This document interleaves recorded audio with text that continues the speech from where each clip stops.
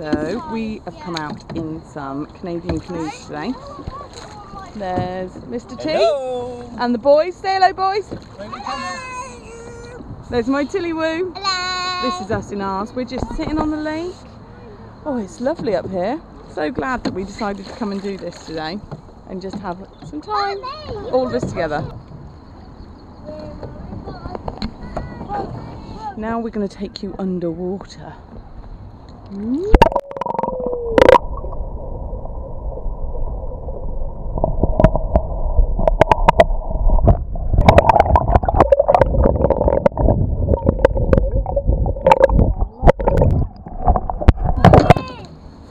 Henry and Rupee in here. A quick paddle look.